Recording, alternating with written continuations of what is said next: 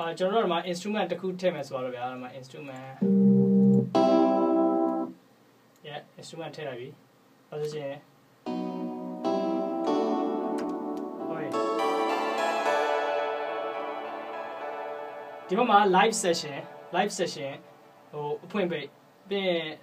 အခုကမြင်နေရတာဒါ live session ပြီးရင်ချင်းနိုင်မယ် launch pad ဖြစ်သွားပြီ pad ဖြစ်သွားပြီ မှာ live session ကျွန်တော်တို့ဘယ် track ကို record လုပ်မလဲဥပမာမှာ1 2 3 4 5ဆိုလို့ရှိရင်ဒီမှာလည်းအဲ့လိုပဲ1 2 3 4 5ငါးခုမြောက်နေရမှာ record ဆိုတာ record record line ဖြစ်တယ်ဆိုတော့ဒီမှာပြရတယ်တော့ပြီးလို့ရှိရင်ဒီဘက်က mixer တွေကကျွန်တော်ဒီဘက်ဟာတွေရဲ့တလိုင်းချင်းစီရဲ့အတန်အတိုးကျယ်ပေါ့ဒီမှာတလိုင်းချင်းစီအတန်အတိုးကျယ်ရမယ် Okay အဲ့ဒါဆိုလို့ရှိရင်ကျွန်တော်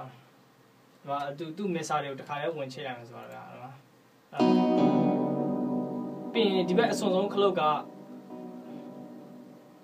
ဟိုကျွန်တော်တို့ record record ကိုတစ်ထွက်ချင်းစီနေရာရွှေ့သွားလို့ရတယ်ဘယ်ဘယ် line ကို record လုပ်မှာလဲအခုဆိုဒါဆိုရင်ဒီမှာနောက်ထပ်နောက်ထပ် piano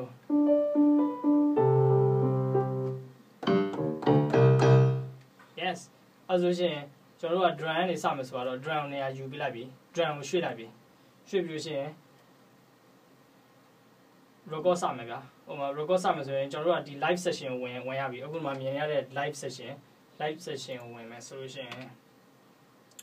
မတန်ဖိုကိုကြိုက်လောက်တန်ဖိုရွေးကျွန်တော်သချင်းတန်ဖိုကထားပါတော့100ဆိုလို့ရှိရင်100မထုံလုံးဖွင့်ပေးဖွင့်မထုံလုံးဖွင့်မထုံလုံးဖွင့်1 2 3 4 1 2အာရပြီ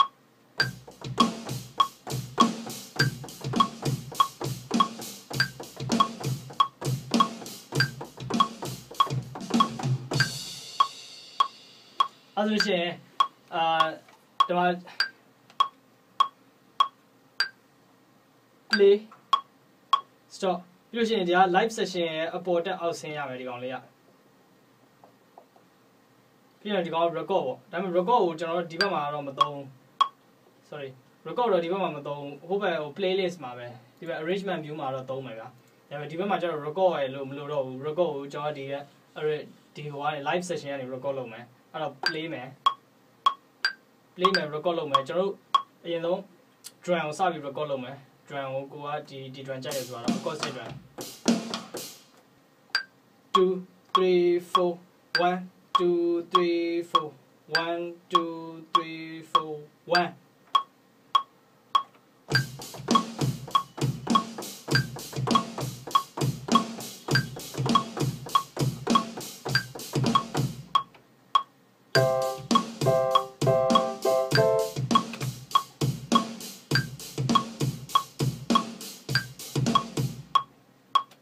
ကျွန်တော် drum timing တွေကမညီဘူးမညီဘူးဆိုလို့ရှိရင်ကျွန်တော် recording စလုပ်ရတာမှာဒီကောင်ကိုတပယ်နှိပ်လိုက်အဲဆိုရှင်ဒီမှာ timing တွေကချော်နေတယ်ဆိုတော့ timing တွေချော်နေတယ်ဆိုလို့ရှိရင်ဒီကောင်ပြန်ဖြတ်လိုက်မယ်ဗျာကျွန်တော် quantite လုပ်ချင်တော့ right click ထောက်ပြီးတော့ quantite လိုက်ရတယ် control u ဟာဟုတ်ပြီဒီမှာညီသွားရတာ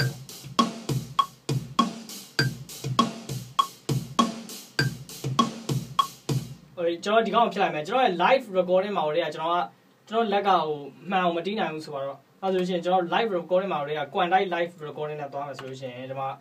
edit ကိုသွားပြီး edit က record မှာ quantite မှာ16 note record လုပ်လိုက်မယ်ကျွန်တော်တို့ရဲ့တခြင်းအနည်းအမြန်နဲ့ဟိုတခြင်းတန်ဖိုးပေါ်မူတည်ပြီးတော့ကျွန်တော်တို့မှာ chain လို့ရတယ် adjust လုပ်လို့ရတယ်ကျွန်တော်တို့ဘယ်လောက် beat ကိုဟိုက quantite လုပ်ချင်တာလဲကျွန်တော်16 note ဖြစ်တဲ့ကြောင့်မှာ16 note quantite နဲ့သွားလိုက်ပြီအဲ့တော့ကျွန်တော် play ထားမယ်3 4အဲ့တော့ကျွန်တော် record ပြီဆိုတာနဲ့ဒီကောင်ကဟိုကျွန်တော်ကျွန်တော်မှားနေလဲပြန် play တဲ့ခါကျလို့ရှိရင်ဒီကောင်မှန်သွားပြီ โอเคအဲ့တော့စမယ်စပြီအဲ့တော့ record session ဘက်ကိုသွားမယ် live session 3 4 1 2 3 4 1 2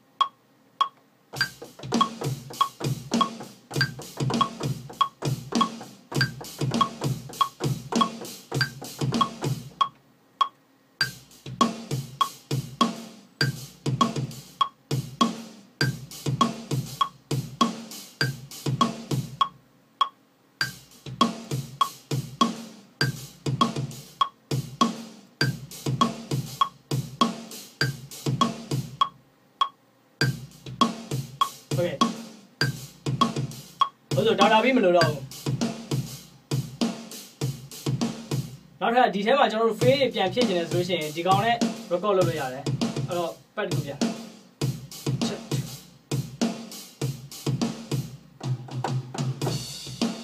โอเคအဲ့လိုမျိုး fail ပေါ့အဲ့ဒီချိန်မှာ record ကိုနှိပ်ထားလိုက်ပြီဒီကောင်လေးကိုနှိပ်မယ်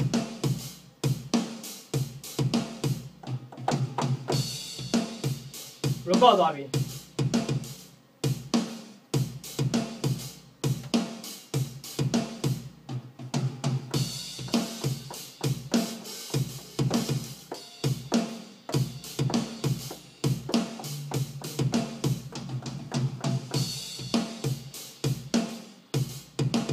ဟုတ်ဒါဆိုရှင်ဒီမှာကျွန်တော်တို့စိုက်တဲ့ fail လေးထည့်ပြီးသွားပြီဆိုလို့ရှင်နောက်တစ်လိုင်းချိန်မယ်နောက်တစ်လိုင်းချိန်မယ်နောက် line ချိန်ဖို့အတွက်ဒီမှာကျွန်တော်သွားပြီး piano သွားမယ်ဘာလဲဒီတိုင်းပဲဒါ piano လာရောက်သွားပြီဆိုလို့ရှင်ဒီမှာ piano အစမ်းတီးချိန်မယ်လာပြီ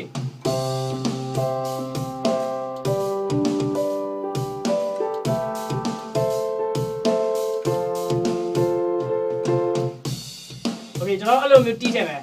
အဲ့တော့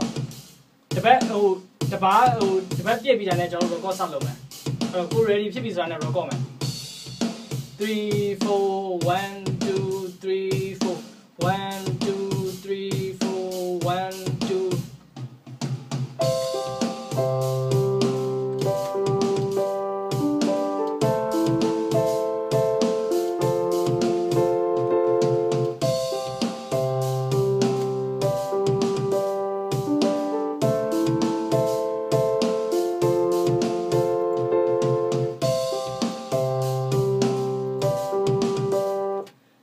ဒီပေါ်မှာရှိတဲ့ cloud အာရှစ်လုံးอ่ะဒီမှာရှိတဲ့ကျွန်တော်တို့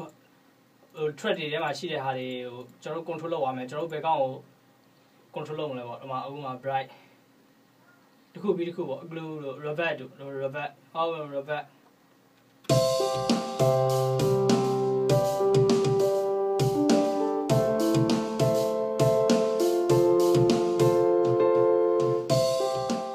ကျွန်တော်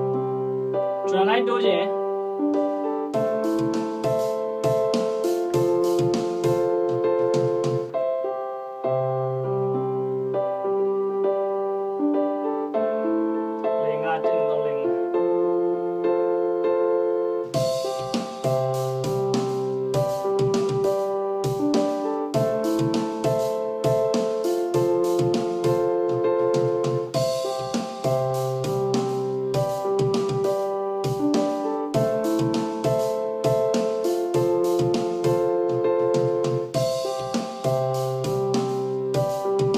နောက်တစ် live live session ဖမ်းမယ်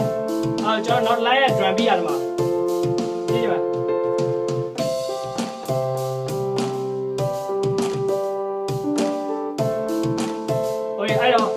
ောက်ဒီကောင်ဖမ်းမယ် line 2ကို line 2ရောက်ပါပြီအဲ line 2ကကျတော့ကျွန်တော် drum ကို drum ကလာချင်းလိုက်မယ်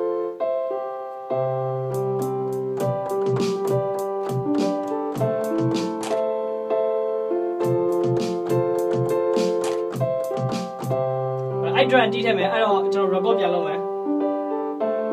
လာပြီဟာ sorry